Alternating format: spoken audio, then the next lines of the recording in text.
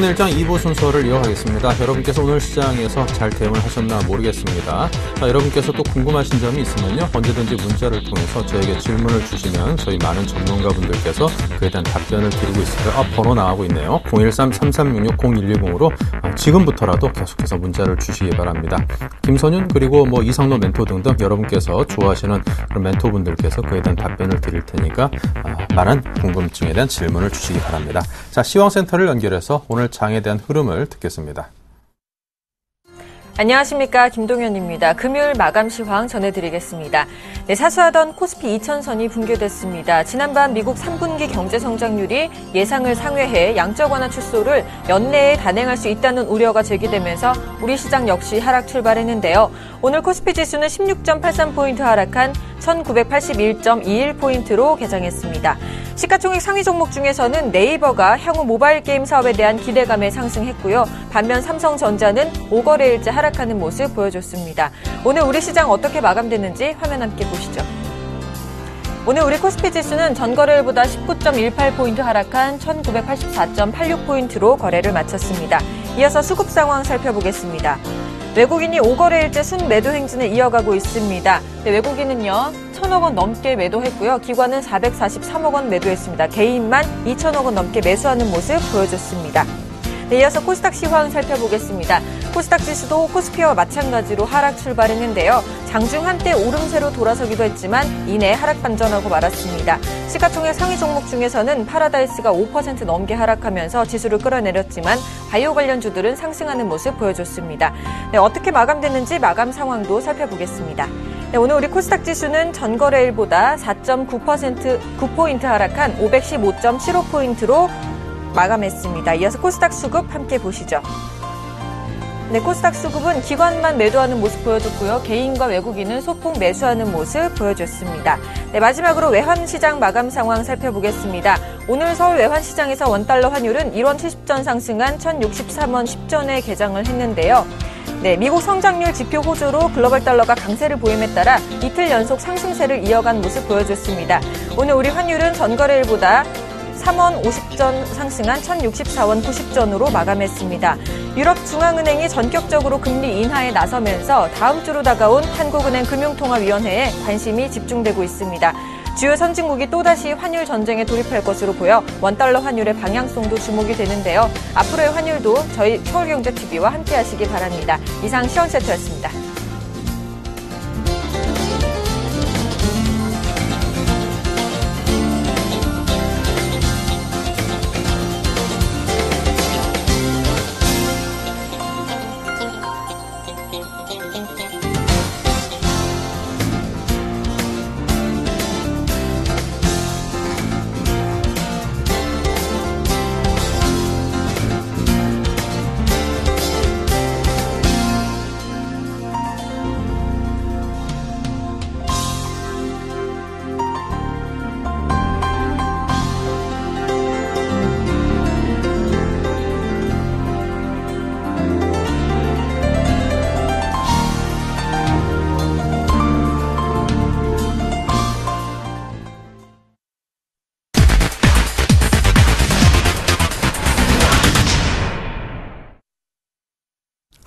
네, 계속해서 어, 수익의 달인 수달킴과 연결해서 수익의 재구성 코너를 또 이어가도록 하겠습니다. 먼저 목표를 달성한 현황부터 살펴보겠습니다.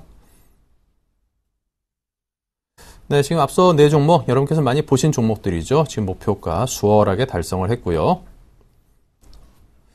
네, 두 번째에서는 지금 현대중공업이 추가가 또 됐지요. 현대중공업 요즘 조선업황이 아, 상당 부분 좋아졌다라는 기대에 힘입어서 아, 조선주들의 가격들이 많이 올랐습니다. 현대중공업을 11월 8일 날 어, 추천을 받아서 어, 오늘 그 현대중공업 어, 목표가를 달성해 있는 상태입니다. 5.2% 수익을 냈고요. 효성도 5.3% 목표가 달성을 했습니다. 네, 수달팀을 연결하겠습니다. 김선임 멘토님. 네, 안녕하십니까. 수달킴 수익의 재구성 시간 김선현입니다. 자, 오늘 또 굉장히 좀 장이 힘듭니다. 2000포인트 깼어요.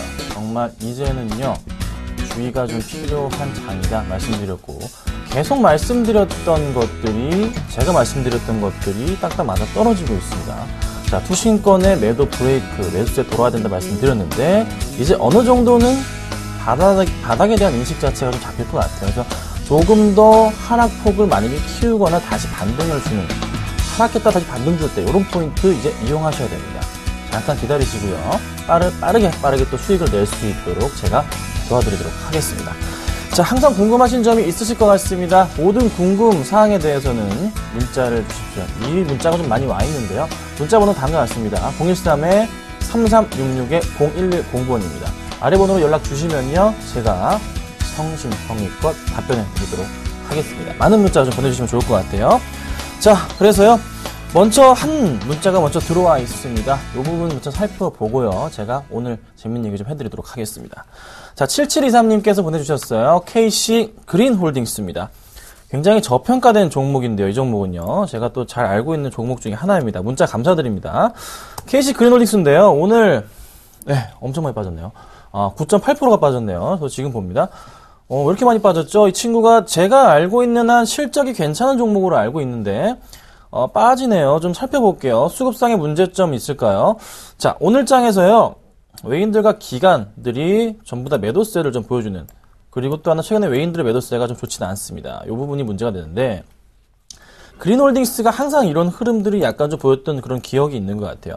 주가가 잘 가주다가도 잘 가주다가도 한번 급락한 그런 포인트들이 나와줬었거든요. 지금도 그런 포인트가 아닌가라는 좀 판단이 듭니다. 이런 포인트들이에요.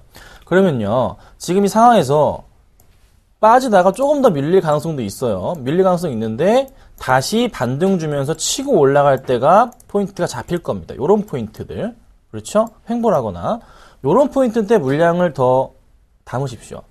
KC 그린홀딩스 굉장히 저평가되어 있는 종목이고요. 적정 주가 흐름으로 좀 판단하건데 최소한 주가 흐름 자체가 13,000원, 4,000원 가야 되는 종목입니다. 네. 잘 알고 있기 때문에 이렇게 말씀드릴 수 있는 거예요. 그러니까 추매하셔도 괜찮습니다. 다시 빠졌다가 횡보하거나 상승해 줄때그 포인트 이용해서 추매를 해주세요. 괜찮은 어, 수익이 날 거고요. 지금 음, 매수가가 조금 11,000원이신데 낮출 수가 있겠죠? 만 원까지 만약에 좀 더 사시면요. 그러면은 나중에 쉽게 빠져나올 수 있잖아요. 그렇게 좀 대응하도록 하겠습니다. 자, 감사합니다. 자, 그래서요. 오늘 역시나 수익 실현한 종목 현대중공업인데 너무 잘 가고 있죠? 현대중공업 어떻게 보십니까? 저는 이 종목에 대해서 목표가 달성했지만 조금 더 보유해보자는 의견을 조금 먼저 드리도록 하고요. 하지만 수익률은 5%로 마감을 하도록 하겠습니다. 홀딩하셔도 괜찮다고 제가 정리해드릴게요. 자, 그리고 인프라웨어가 손절 처리를 하겠습니다. 인프라웨어가요, 제가 마이너스 10%를 좀 잡았습니다. 이걸 제가 어, 11,000원으로 제가 잡았는데 오늘 시작부터 밀리네요. 자, 인프라웨어 같은 경우를 말씀드려보자면요. 모바일 오피스 대장주입니다. 완전 그냥 세계 대장이라 말씀드릴 수 있을 것 같아요. 근데 구글에서 안, 삼성 쪽으로 안 들어간다 했습니다. 2014년도까지 안 들어가요. 2015년도에 나오는 스마트폰들부터 들어가게 됩니다. 그래서 내년 실적까지 보장이 돼 있거든요. 분명히 반등 줄 거라 생각했는데 아쉽지만 제 판단에 좀 미스가 있었던 것 같습니다. 사과를 드리고요. 음, 마이너스 10%좀 정리를 부탁드리도록 할게요. 어쩔 수 없습니다. 원칙은 원칙이니까요. 정리 부탁드리겠습니다. 네, 그렇게 제가 짧게 말씀드려봤고요. 오늘 좀 이런 얘기를 드리고 싶습니다. 오늘의 시장을 보니까요. 문득 이런 생각이 들었습니다. 그래서 이렇게 제가 얘기를 드려볼게요. 이런 말씀 드리고 싶어요. 개인만 살고 죽은 시장. 이렇게? 네. 개인만 사고 죽은 시장입니다. 살고 죽은 시장. 왜 이렇게 살고 죽다는 말씀, 말씀을 제가 드리냐면요. 지금 현재 시장 코스피 지금 상황 수급을 보면요. 외국인들이 지금 5일째 나갑니다.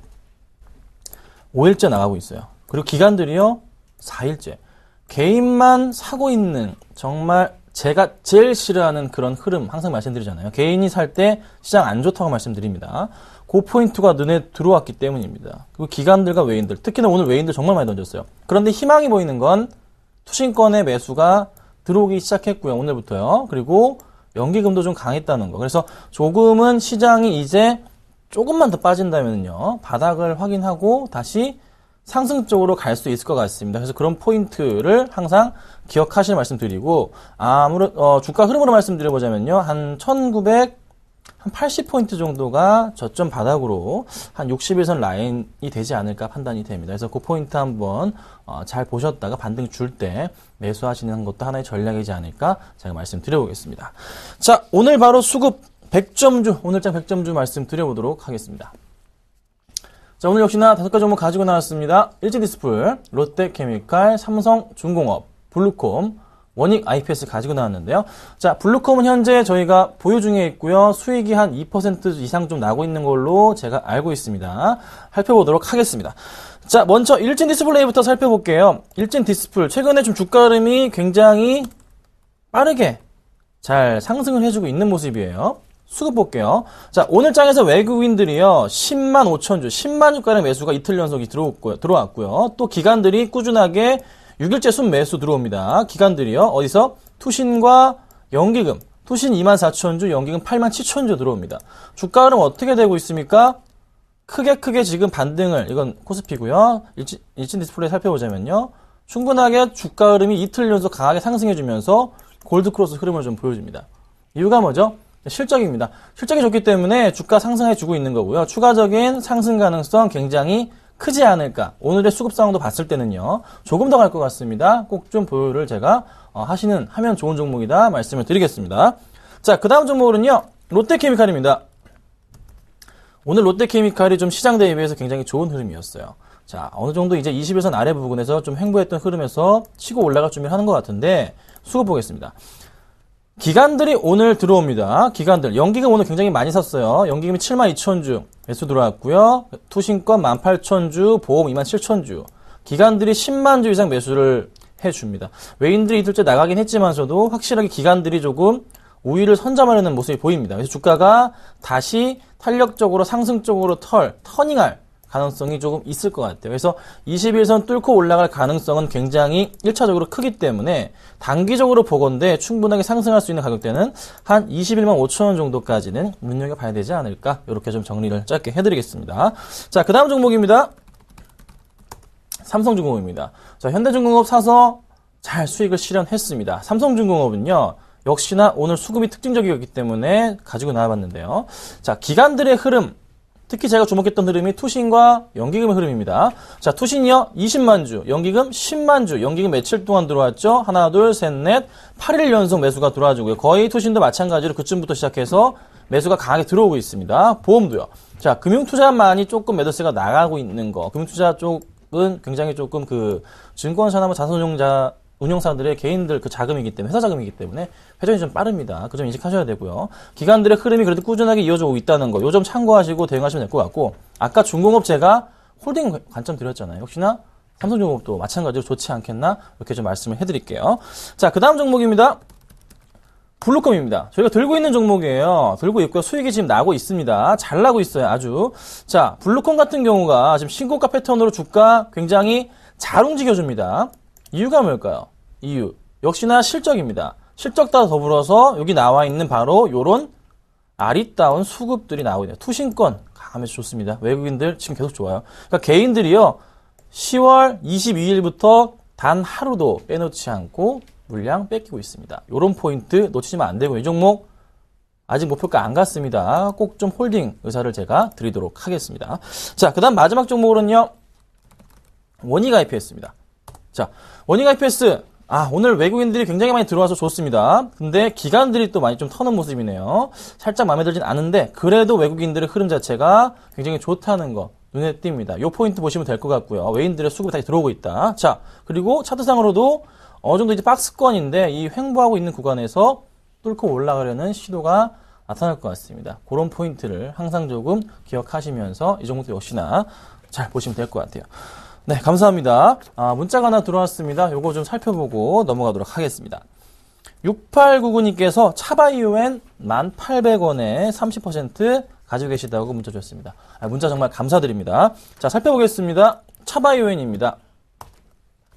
차바이오엔 뭐 하는 회사인지는 잘 알고 계시죠? 어, 차병원 쪽에 같이 좀 일하고 있는 부분이고요. 또 하나 그 의료 그 시스템 쪽으로 굉장히 좀 기술력을 갖고 있는 회사 중에 하나죠. 자, 주가 흐름에서 오늘 좀 조금 밀리네. 하지만 근데 최근에 흐름 자체가 굉장히 많이 밀린 게 안타깝네요. 11,500원부터 해서 계속적으로 거의 한 달 동안 밀렸습니다.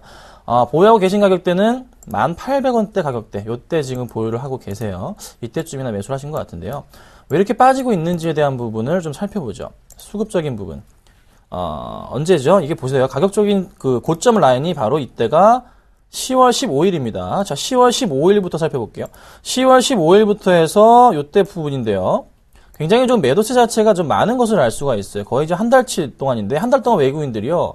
53만 주, 오늘 굉장히 또 많이 던졌고요. 기관들도 17만 주 조금 매도세가 나옵니다.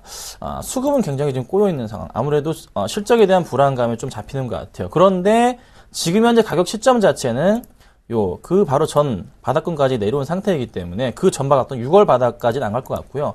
어느 정도 지금 요 바닥권까지 밀린 상태에서 한 번 반등은 좀 나와주지 않을까라는 판단은 듭니다. 그래서 어, 많이 이미 빠졌고요. 더 이상의 큰 하락은 조금 제한적이지 않나 판단이 되면서 그래서 좀 차바여행 같은 경우는 지금 상황으로는 가져가시는데요. 어, 9,500원 라인 떨어지게 되면은 조금은 주의가 필요할 것 같다. 이렇게 제가 포인트로 네, 잡아드리도록 하겠습니다. 일단은 지금 holding 해주고요, 주시고요. 또 한번 변화가 있으면은 어, 바로바로 연락 주십시오. 네, 감사합니다. 자, 마지막으로 봐드리겠습니다. 바쁩니다. 자, 2480님 컴투스 19,800원이신데요. 문자 먼저 감사드린다고 제가 말씀을 드려볼게요. 정말 감사드립니다. 자, 컴투스입니다. 19,800원에 사셨는데요. 바닥에서 잡으셨어요. 지금 19,400원입니다. 자, 요즘 정부 규제 또 한 번 나와주고 있습니다. 재밌는 점은요. 왜 컴투스랑 게임빌은 이렇게 주목을 받지 못하냐? 왜 그러죠? 어, 지금 정부에서 규제하고 있는 게 뭡니까? 바로 애들, 청소년들 게임하는 거에 대해서 규제를 합니다. 못하게 하려고. 적게 하려고. 그래서 이런 종목들이 지금 가잖아요. NC소프트가 잘 움직여주고 있어요. 이 흐름을 본다면요. 그러면 모바일 게임보다는 당분간의 정부의 정책 제재에서 벗어날 수 있는 게 바로 성인 게임이 주를 이루고 있는 이런 NC소프트 같은 종목들. 뭐 다, 오히려 더 나을 수가 있습니다. 조금 이동을 부탁드릴게요. 좀 불안합니다. 빠르게 이동 부탁드리고요. 게임즈 하시려면 NC소프트가 낫다. 이렇게 제가 말씀을 좀 드려볼게요. 아셨죠? 이렇게만 말씀드리겠습니다. 자, 그래서요. 오늘 종목은요. 역시나 하림을 제가 어, 수급주 중에서 안 뽑고 가져왔었죠. 수익이 5% 이상 나고 있습니다. 오늘은요, 역시나 수급 100점 중에서 다른 종목을 말씀드리겠습니다. 오늘 말씀드릴 종목은요, 일진 전기입니다. 일진 전기. 왜 이걸 가지고 나왔는지 제가 설명을 드려보도록 하겠습니다. 오늘 5% 빠졌는데요, 기회가 될 수도 있습니다. 자, 내용 살펴볼게요. 자, 일진전기는요, 한국전력, 전력 케이블을 좀 공급하고 있는 그런 회사 중에 하나입니다. 자, 그리고요, 올해 흑자 전환이 좀 예상이 되고 있다는 게 굉장히 긍정적이다 말씀을 드려보고, 얼마 전에 나왔었죠 뉴스가 JS전선 원전비리 있었고요. 대한전선 재무가 또 불안하기 때문에 어느 정도 이제 한국전력 쪽에서 일진전기 쪽으로 발주 증가 가능성이 크다는 거죠. 그 포인트를 받아서 올해 흑자 전환이 가능한 겁니다. 그래서 충분하게 상승 가능성 크지 않나 좀 말씀을 드려보고요. 가격적인 측면 말씀드려보겠습니다. 자 매수가는요 제가 말씀드린 포인트 음, 지금 오늘 상당히 많이 빠졌네요. 한 6,400원에서 6,600원 제가 매수하려고 그랬는데요. 좀 더 내리겠습니다. 많이 빠졌기 때문에 한 6,000, 한 200원에서 3, 500원 정도 잡을게요. 6,200원에서 6,500원 사이로 매수를 부탁드리고요. 목표가는 6,800원 정도까지 보시고 아, 7,000원 정도 괜찮을 것 같습니다. 그리고 손절가는요, 또 내려왔기 때문에 또 한번 살짝 내리겠습니다. 6,100원으로 짧게 대응하도록 하겠습니다. 꼭 좀 인식하시고서 좀 한번 매수해봐도 좋지 않을까 말씀드려보겠습니다. 자, 오늘 제가 일진전기 말씀을 드려봤고요. 어, 다음 주에 또 활기차게 뵙도록 하겠습니다. 감사합니다.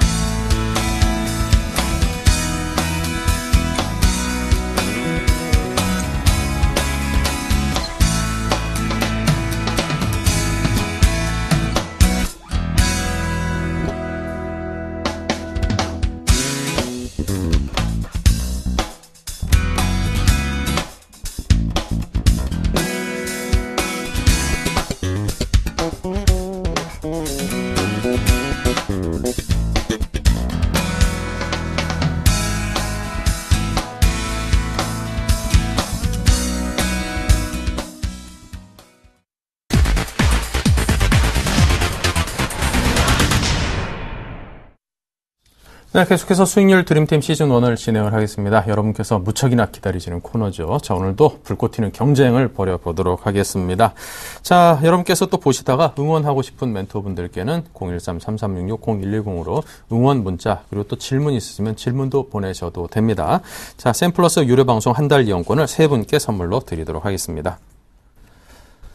네, 자, 그럼 오늘 뭐 10월 5주차 또 결산을 또 해봐야 될 텐데요. 5주차부터 열어보겠습니다. 네, 양 팀의 수익률이 어이구 극명하게 그냥 확 갈리네요. 오늘 장 팀이 18.6%로 굉장한 고수익을 올렸습니다. 지금 시장 상황과 비교한다면 굉장히 높은 그런 고수익을 올리고 있지요.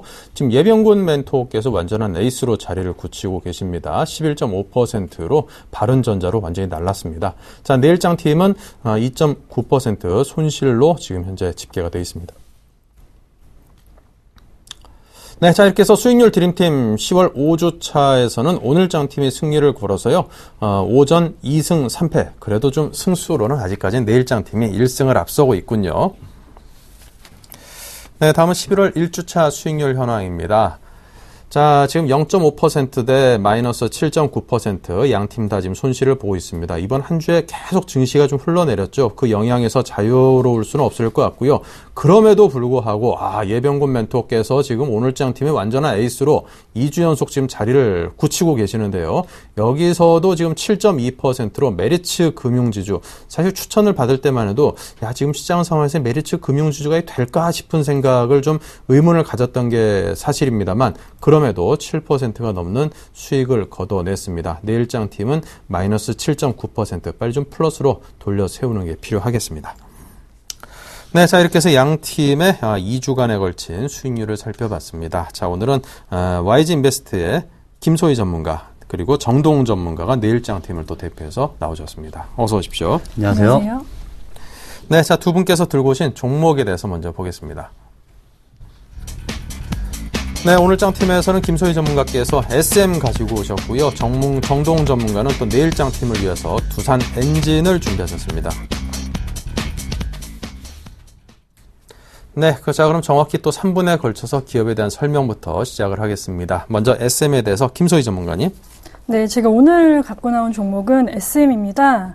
그 우선은 SM을 보기 전에 우선 중국부터 좀 바라보셔야 될 것 같은데요.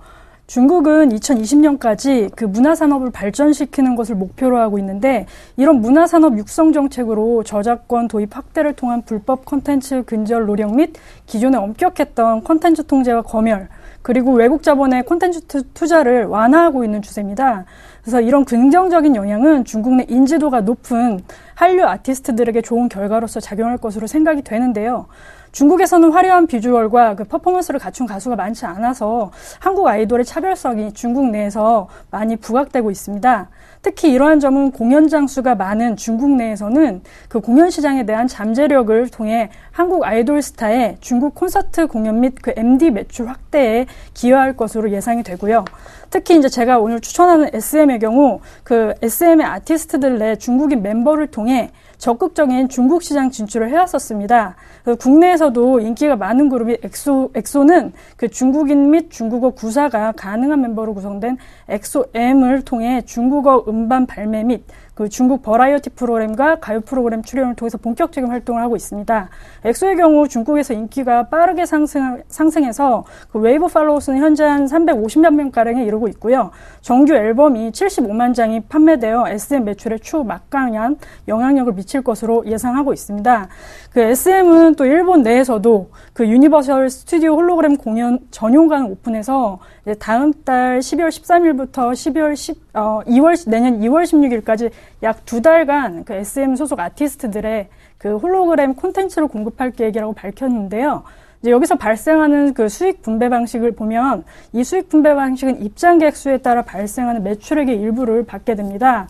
아시다시피 일본에서 인기가 많은 뭐 동방신기라든지 샤이니, 슈퍼주니어, 소녀시대 등은 그 일본에서 수십만 명이 이르는 팬들을 보유하고 있기 때문에 공연 기간은 짧지만 이곳에서 발생하는 매출 또한 적지 않을 것이라고 생각이 되면서 또 추후 이제 공연 반응이 좋다면 장기적으로 지속적인 공연, 공연이 가능하지 않을까 예상을 해보고 있습니다.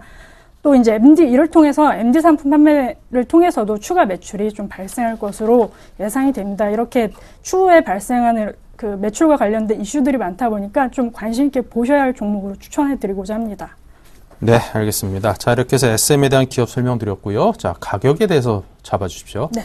그 SM의 경우 SM의 주가를 좀 보시면 지난 그 2012년 3분기 earning shock 이후 그 지속되는 실적 우려로 인해서 그 올해에도 한 20% 정도 하락을 크게 했었습니다. 그러나 하반기에는 앞서 지속됐던 실적 우려가 해소될 것으로 예상되고요.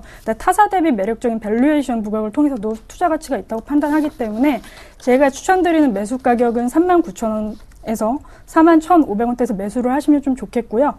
목표 가격은 한 5만 원 선으로 잡고 있습니다. 손절 가격은 한 3만 6,500원에 도달하시면 우선은 매도하셔갖고 대응하시는 게 좋다고 생각합니다. 네, 알겠습니다. 자, SM에 대한 설명을 들었습니다. 자, 다음은 정동훈 전문가께서는 두산 엔진을 가지고 오셨는데요. 예, 두산 엔진 뭐 회사 먼저 말씀을 드리면 두산 엔진 선박 엔진을 제조하는 회사다 이렇게 설명을 해 드릴 수가 있을 것 같습니다. 어, 선박 엔진을 제조를 하기 때문에 조선 업황과 같이 움직인다 이렇게 말씀을 드릴 수가 있을 것 같습니다. 어, 첫 번째 투자 포인트는 바, 로 아, 조선 업황의 회복이다 이런 식으로 정리를 해 왔는데 어, 글로벌적으로 유럽과 중국 경기가 회복되면서 아, 물동량이 조금씩 증가하는 추세로 나오고 있습니다. 어, 이에 따라서 이제 신조선 선박 발주가 줄이어서 나오고 있는데 어, 사실상 제가 현대미포조선 지난 시간에 말씀을 해드렸지만 어, 현대미포조선 어, 올해 상반기 이전까지는 어, 수주량이 어, 1년치밖에 되지 않았었는데 현재는 어, 2년치를 넘어선 상태입니다. 이렇게 국내 조선사들의 수주량이 지속적으로 증가하고 어, 수주 모멘텀이 발생한다면 어, 이러한 수주는 모두 어, 두산 엔진과 같이 움직일 수 있다 이렇게 말씀을 드릴 수가 있을 것 같습니다. 어, 그렇기 때문에 조선 업황 의 호황은 어, 두산 엔진 개별 기업의 호황으로 돌아올 것이다. 이렇게 설명을 해드릴 수가 있을 것 같고 어, 두 번째 투자 포인트는 이제 하반기 엔진 수주가 본격화될 것이다 이렇게 정리를 해왔는데 어, 사실상 어, 상성 같은 시장은 어, 상반기부터 발주가 굉장히 많이 일어났었습니다.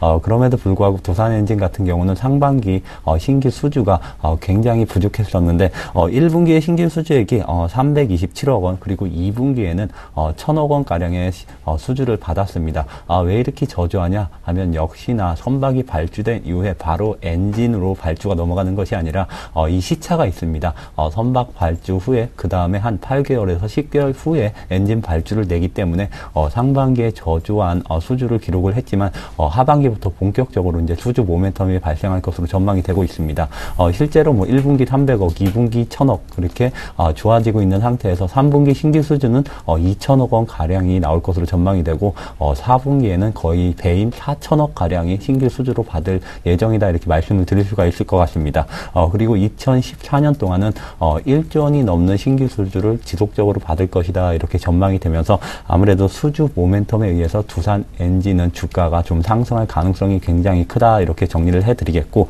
어, 세 번째 투자 포인트는 이제 엔진 가격의 상승이 어, 좀 예고돼 있다 이렇게 말씀을 드릴 수가 있을 것 같습니다.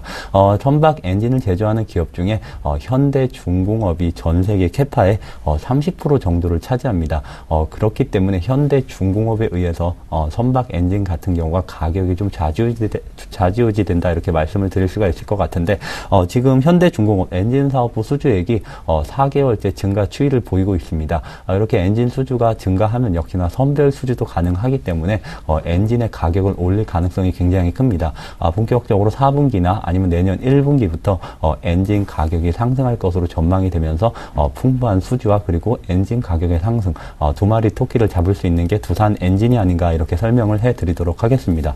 네. 자, 이렇게 해서 조선업황의 회복에 힘입은 두산 엔진의 추가 주가 상승에 대해서 설명을 해주셨습니다.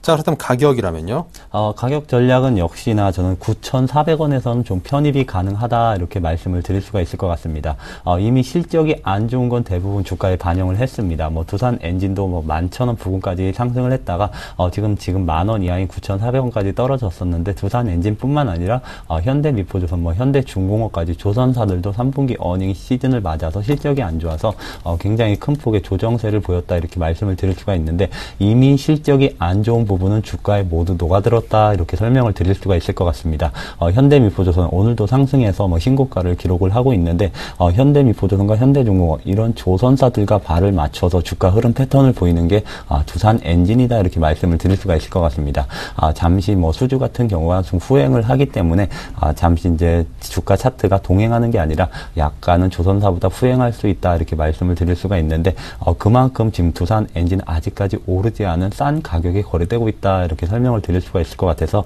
어, 9,400원 부근에서는 어, 편입을 시도하도록 하겠습니다. 어, 그리고 1차적인 목표가는 저 개인적으로는 어, 13,700원까지를 보고 싶지만 어, 역시나 1차 목표가는 이제 만원 어, 상단인 어, 11,000원까지 1차 목표가로 정하고 어, 손절가는 8,500원으로 잡도록 하겠습니다.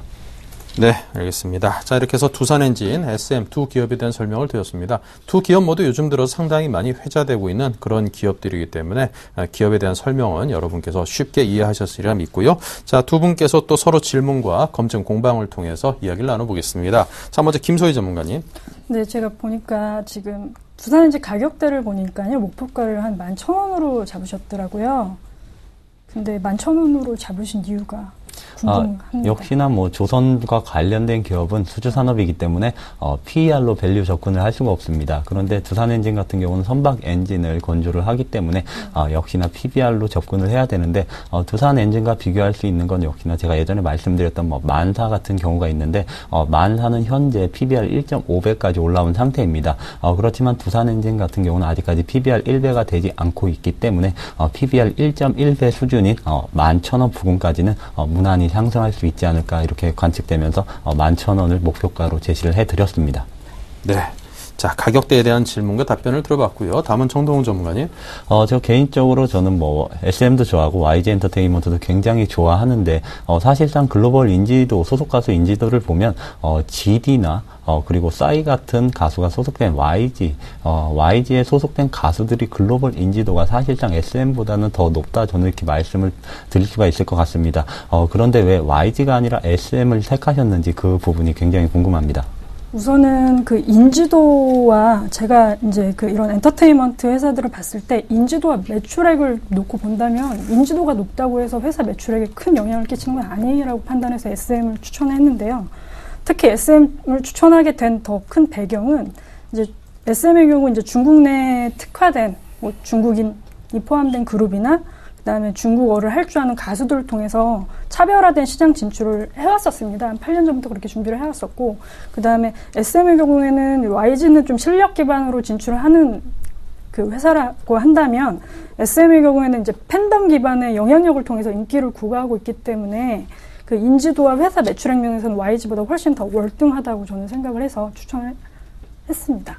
네, 추천 사유에 대해서 또 왜 이 기업, 왜 하필이면 이 기업이냐. 자, 이런 질문에 대해서 또 답을 또 들어봤습니다. 자, 계속해서 질문을 좀 주고받아 보시죠. 예. 그 두산 엔진을 저도 이제 좀 보유 종목에 그 관심 종목에 갖고 있는 종목이기도 한, 한데요. 이게 보면 이렇게 실적대로 그렇게 실적이 잘 나와서 움직이는 종목은 아니었던 것 같습니다.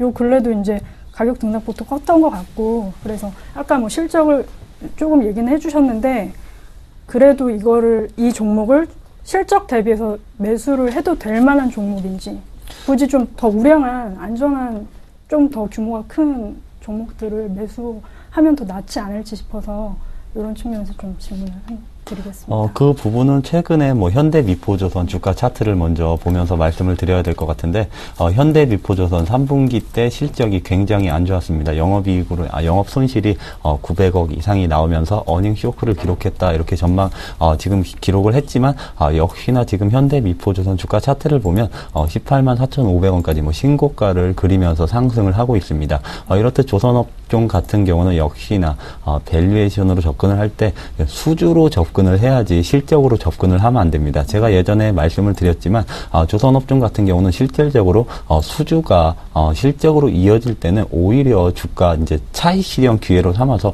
어, 외국인과 기관이 대량 매물을 쏟아내는 게 일반적이다 이렇게 설명을 드릴 수가 있기 때문에 어, 지금 상승하는 것이 정상적인 것이다 저는 이렇게 말씀을 드리고 싶습니다. 아, 또 하나의 중요한 게 어, 음, 저 두산 엔진 같은 경우가 지금 선박 발주는 많이 일어났는데 왜 두산 엔진도 어, 엔진에서 어, 발주 그러니까 수주가 이어질 것이냐 이런 질문을 하시는 분들이 많은데 어, 네. 예전에 한번 네. 네. 자, 다음번에 또 기회는 없습니다. 예. 자, 정동 전문가께서는 또 어떤 질문 하실런지. 예. 어, 역시나 이제 SM 같은 경우는 이제 실적이 굉장히 중요하다 이렇게 말씀을 드릴 수가 있을 것 같은데, 아, 오늘도 실적이 안 좋은 기업 대거 폭락을 했습니다. 뭐, 네페스 같은 경우는 뭐 전일장에 폭락을 하고 오늘장에도 뭐 하한가 부근까지 하락하는 어, 실적이 안 좋은 종목은 어, 뭐 기간에서 까자 뭐 이런 말까지 나오면서 어, 굉장히 어, 실적이 우량한 종목으로 가야 할 텐데 어, 그에 따라서 이제 4분기 SM 실적이 굉장히 중요할 것 같은데 4분기 SM 예상 실적이 어느 정도인지 좀 궁금합니다. 3분기에 이제 아이러니하게 중국 때문에 또 실적이 안 좋았었는데요. 4분기에는 또 이상하게도 또 중국 때문에 예상 실적이 좀 좋게 예상을 하고 있습니다. 그래서 매출액은 한 940억 정도 예상을 하고 있고요. 전 분기 대비 14% 상승할 것으로 생각이 되고 영업이익 같은 경우에는 277억 원으로 27% 상승할 것으로 생각이 되고요. 단기 순이익도 봐도 한 30% 정도 상승할 것으로 예상을 하고 있습니다. 그래서 추 내년에도 이제 중국에서 좀 많은 이렇게 영향을 좀 좋은 영향을 받아야지만 지속적인 그 실, 예상 그 매출액이 발생할 것으로 예상이 되는데요. 현재 제가 말씀드린 이슈 이외, 이외에도 공연이나 뭐 이제 SM에서 하고 있는 의류 사업 등을 통해서도 이제 좀 매출액에 또 긍정적인 영향을 미칠 것으로 예상하고 있습니다. 네. 자, 다음 또 질문을 또 들어보겠습니다. 네. 나 제가 질문하겠습니다. 자, 두산 엔진에 대해서 또 질문을 준비하시는 동안 또 두산 엔진에 대해서 제가 좀 궁금한 게 있는데요. 이 업황 자체에 대해서 아, 지금 시간이 또 얼마 남지 않았군요. 자, 그럼 오늘은 여기서 검증을 한 여기 정도까지만 하고 마치도록 하겠습니다. 이게 좀 뜨겁게 달리다 보니까 아, 오늘 좀 이렇게 됐습니다. 자, 우리 김소희 그리고 정동 두 분 전문가께서 SM과 두산 엔진 자, 이 두 종목에 대해서 또 검증 공방을 벌여봤습니다. 말씀 감사합니다. 감사합니다. 나-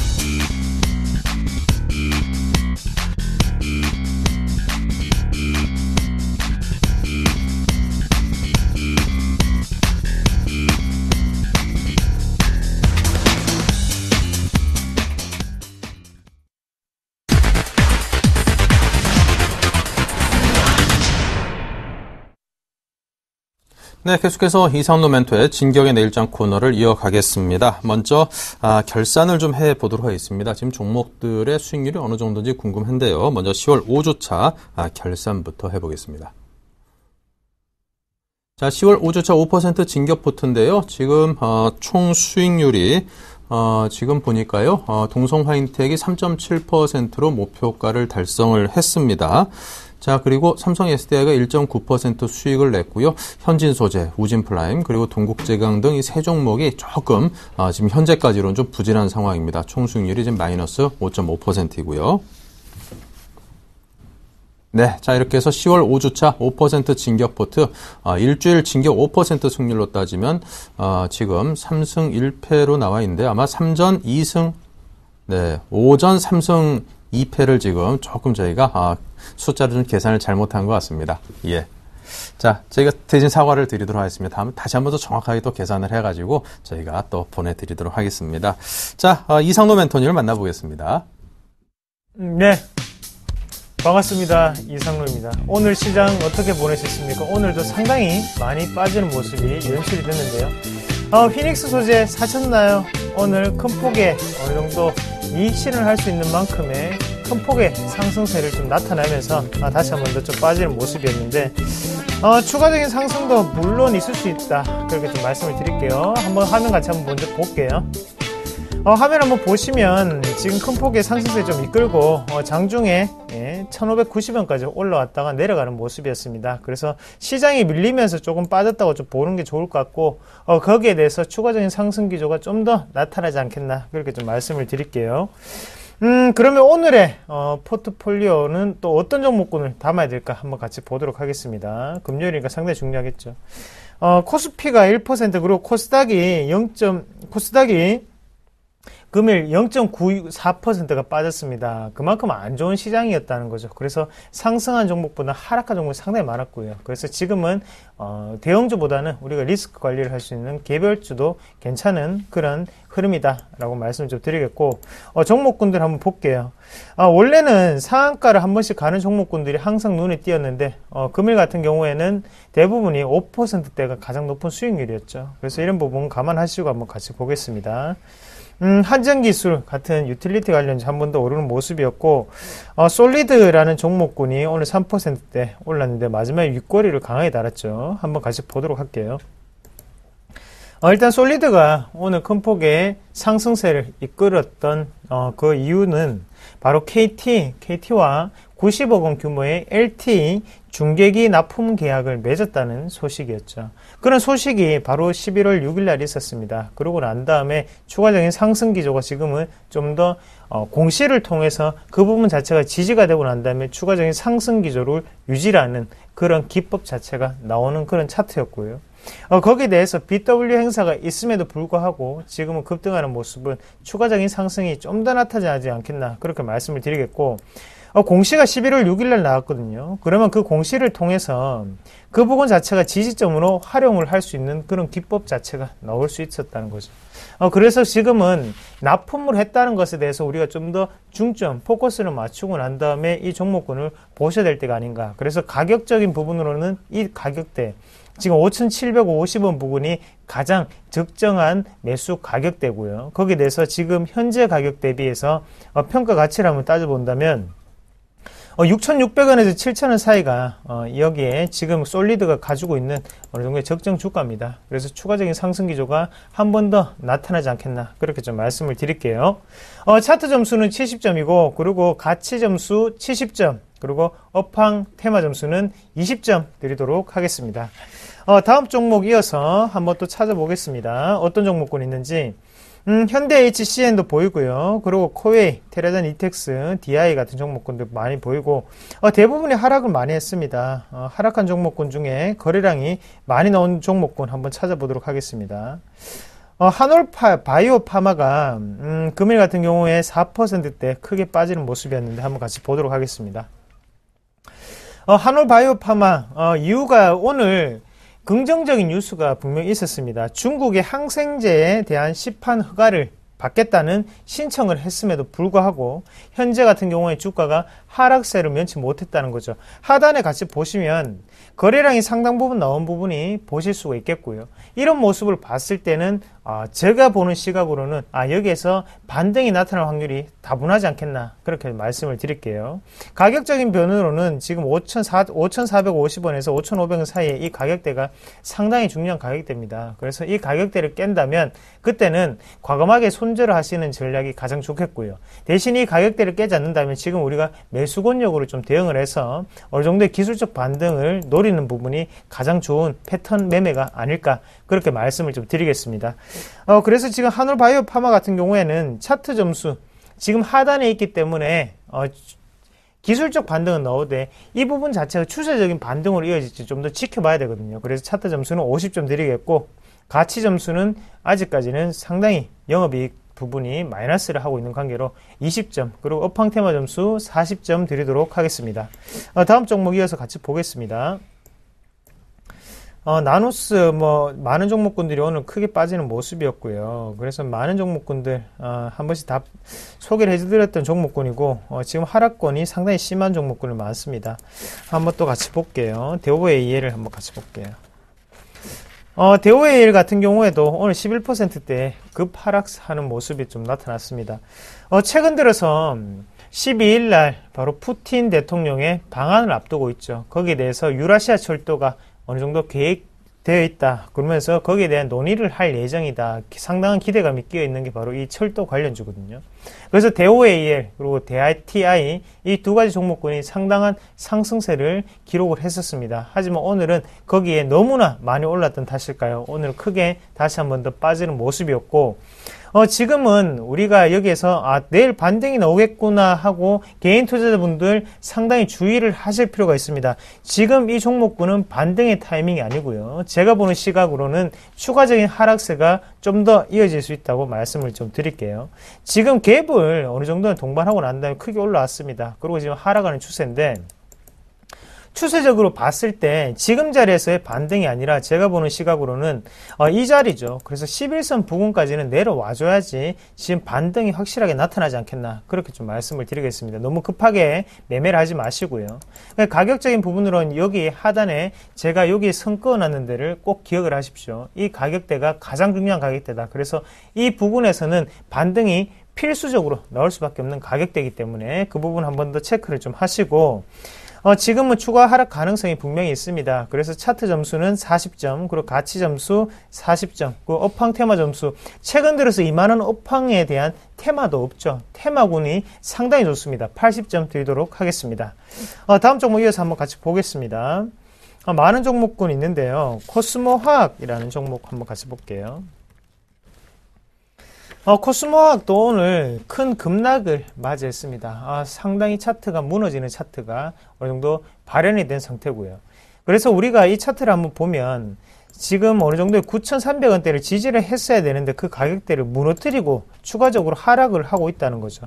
어, 제가 항상 말씀을 드리는 거지만 지지가 여러 번 나타나다 보면 그 지지가 약해질 수밖에 없다는 거죠. 그러면 그 지지 자체는 어떻게 된다? 바로 저항 구간으로 작용을 한다는 거죠. 그러면 지금은 이 9,300원대는 강력한 저항 구간으로 다시 한 번 더 자리를 잡을 수가 있겠고요.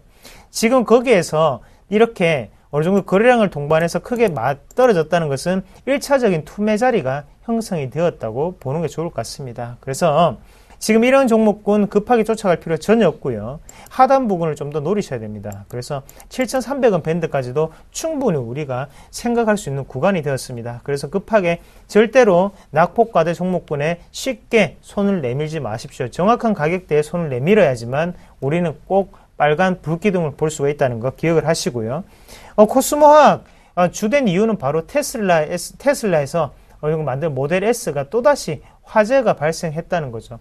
제가 처음에도 말씀을 드렸다시피 테슬라는 IT 기업이지 자동차 업체가 아니라는 걸 다시 한 번 더 기억을 하시면 좀 좋을 것 같아요. 그래서 모든 회사들이 전기차를 만약에 만든다면 테슬라의 입지는 작아질 수밖에 없습니다. 다만 지금은 선두 주자권에 있기 때문에 모든 전기차의 관심이 상징적으로 테슬라에 모여 있는 것 뿐이지 테슬라는 그런 전기차 업체 중에 한 개라는 인식을 우리가 다시 한 번 더 하셔야 될 것 같고요.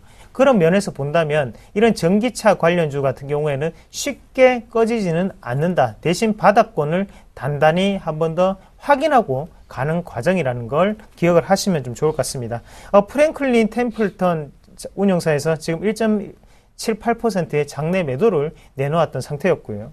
그래서 이 종목 같은 경우는 추가적인 하락세가 저는 눈에 띕니다. 그래서 이 종목군 차트 점수는 30점, 그리고 가치 점수 60점, 업황 테마 점수 30점 드리도록 하겠습니다. 어, 다음 종목군 한번 또 같이 볼게요. 음, 이제 진격 포트폴리오에 오늘 어떤 종목군 할지 그 종목군 말씀을 드려야 될 것 같은데요. 자, 오늘 제가 선택한 종목은 바로 한정 기술입니다. 어, 한정기술 같은 경우에 오늘 이슈가 됐던 점이요. 원전 정책에 대해서 정부의 의지가 재확인되었다는 뉴스가 나왔습니다. 어, 최근 들어서 원전에 대해서 상당한 어, 위축세가 많이 나와 있었죠. 하지만 어쩔 수 없이 지금 나와 있던 이런 원전 같은 경우에는 유지를 해야 된다는 게 바로 정부의 방안이라는 거죠. 그래서 그런 부분에서 봤을 때 한전 기술도 지금은 추가적인 상승 기조가 좀 더 나타나지 않을까 그렇게 좀 보는 시각이고요. 그래서 지금 한전 기술 같은 경우에는 한번 차트를 한번 크게 볼게요. 크게 한번 보시면 어느 정도의 추세적인 부분을 항상 유지를 하고 난 다음에 어, 다시 한번 더 어, 고점 자체는 꾸준히 낮아졌고 거기에 대해서 저점은 아직까지는 지켜주고 있는 상태라고 보셔야 될 것 같아요. 한 가지의 파동 안에서 아직 움직이는 상태이기 때문에요. 지금은 추가적인 상승 기조가 좀 더 나타날 수 있지 않을까. 그래서 지금 우리가 이 부분을 봤을 때 어느 정도 과매도 권력으로 좀 더 해석을 하고 추가적인 상승 기조로 갭을 메꿀 수 있다는 점을 착안을 좀 해보겠습니다. 그래서 차트 점수로는 90점까지 드릴 수가 있겠네요. 저는 이 차트 무조건 추가적인 상승 나오리라고 봅니다. 그리고 가치 점수는 40점, 그리고 업황테마 점수 어, 소외된 종목군이었죠. 30점 드리겠고, 대신 매수가가 상당히 중요하죠. 매수가 같은 경우에는 너무 급하게 따라가지 마시고요. 5만 6천 원짜리에서 우리가 매수를 하는 전략을 말씀을 좀 드릴게요. 그리고 1차적인 목표가는 6만 원까지 홀딩할 수 있는 전략. 그리고 어, 손절가 같은 경우에는 하단에 5만 4천 원을 제시해 드리겠습니다. 어, 상당히 스윙적으로 봐도 괜찮은 종목군이고 우리가 필히 이 종목군 꼭 관심을 가져주시길 바라겠고요. 자, 이번 주 시장이 상당히 힘들었습니다. 그만큼 우리 마음도 파랗게 멍든 그런 한 주였던 것 같은데요.